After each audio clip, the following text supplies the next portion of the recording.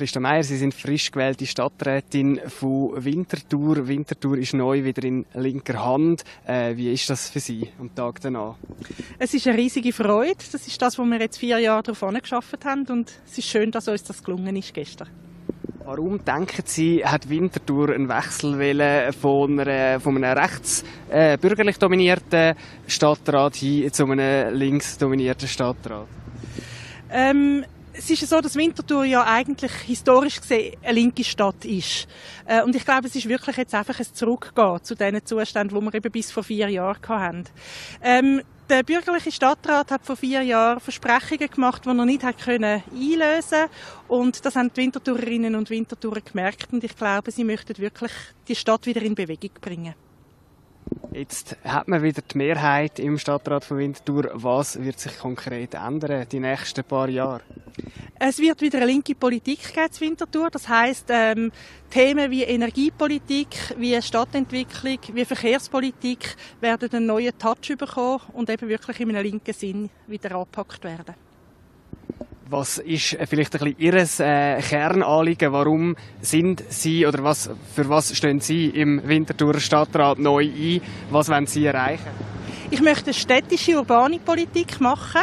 Äh, das, da gehört eben eine nachhaltige Energiepolitik dazu, da gehört eine solidarische Politik dazu und da gehört vor allem eine Zusammenarbeit mit der Bevölkerung auf Augenhöhe dazu.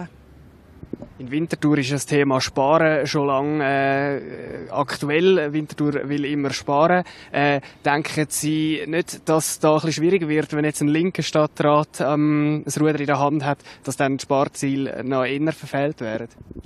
Ähm, man hat in der letzten Zeit ein bisschen fest die Spardebatte einfach aufs Sparen reduziert. Ähm, es ist für mich völlig in Ordnung, dass wir unsere Ausgaben analysiert haben und dass wir auch gewisse Einsparungen gemacht haben. Was aber ein bisschen zu kurz kommt, ist die Einnahmenseite. Mit Steuersenkungen kommen wir auch auf keinen grünen Zweig. Und wir müssen die ganze finanzielle Situation ganzheitlich anschauen und da gehört die Einnahmenseite und die Ausgabenseite dazu. Und das ist linke Politik. Jetzt gestern ist nicht nur zur Wintertour abgestimmt worden, schweizweit äh, No Bilag. Äh, es, äh, linke, linke Parteien haben sehr Freude am Resultat, dass No Bilag abgelehnt worden ist. In Zürich ist gewählt worden, ähm, auch dort ein Erfolg für die Linken. An was liegt es? Oder, oder wie schätzen Sie das ein, dass jetzt da äh, die Linken ähm, so ein Freudenfest können veranstalten No Bilag hat sicher mitgespielt. Die Initiative ist ein massiver Angriff auf den Service Public. Und der Service Public ist etwas, wo sich die Linken sehr stark dafür einsetzen. Ähm, von dem her hat uns die Initiative oder die Mobilisierung für die Initiative sicher jetzt auch bei den Wahlen geholfen. Ähm, die SP Winterthur hat sich schon bei anderen ähm, Privatisierungs- oder Auslagerungsgeschichten ganz klar eben für den Service Public eingestellt und eingesetzt. Und ich glaube, das ist einfach eine logische Konsequenz, das Wahlergebnis von gestern. Also Sie glauben, die Bürgerlichen haben sich, oder die ganz äh, die wenigen Bürgerlichen, die für die No Bila waren, haben sich haben den ganzen Bürgerlichen mit dem eigentlich einen Bärendienst erwiesen, mit der No Bilag Initiative, indem sie den Service Public haben versucht äh, zu torpedieren. Äh, es ist nicht wirklich an mir, die Fehler der Bürgerlichen zu analysieren, aber das hat sicher mitgespielt, ja. Wenn wir jetzt über Winterthur ausschauen, auf die ganze Schweiz, ein Wahlerfolg mit No-Bilag, mit äh, den kantonalen Wahlen für die Linken in der Schweiz.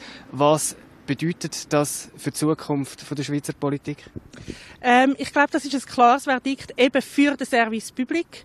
Und äh, es ist völlig klar nach so einem Abstimmungs- und Wahlsonntag, dass weitere Angriffe auf städtische oder staatliche Institutionen eben müssen abgewehrt werden. Und da haben wir sicher jetzt einfach die besseren Karten in der Hand. Aber bedeutet das nicht ein Stückchen weiss, äh, dass man einfach äh, Status quo erhaltet? Das ist ja manchmal ein bisschen der Vorwurf an die Linken. Es läuft gerade gut, man erhaltet den Status quo. Besteht da nicht Gefahr, dass man dann auch ein bisschen stehen bleibt? Ähm, es, ist ja, es ist einfach der eine Bereich, den man möchte erhalten Und das ist wirklich ein Bereich, der äh, für eine solidarische äh, Gesellschaft ganz wichtig ist. Wir müssen ähm, Angebote haben, die für alle erschwinglich sind. Wenn man privatisiert, dann ist schnell einmal Gefahr da, dass einfach die einen sich das können leisten und die anderen nicht mehr.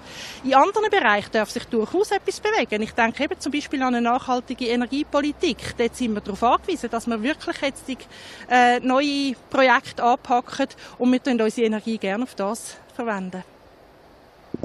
Wie schafft es äh, die Linke, äh, da gemeinsam am gleichen Strick zu können ziehen?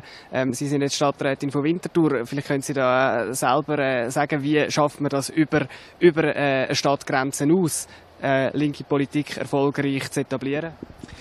Ähm, durch das, dass man wirklich einfach in einem steten Austausch ist miteinander. Ähm, Kanton, Gemeinden und der Bund sind gegenseitig voneinander abhängig und es funktioniert nur, wenn man wirklich miteinander redet. In letzter Zeit ist es häufiger so gewesen, dass äh, gerade äh, äh, grosse Kostenberge einfach vom einen, äh, von der einen Ebene auf die andere umgelagert worden sind. Das hilft unter dem Strich nie. Wir müssen wirklich zusammenarbeiten, zusammen reden und zusammen Ziel verfolgen.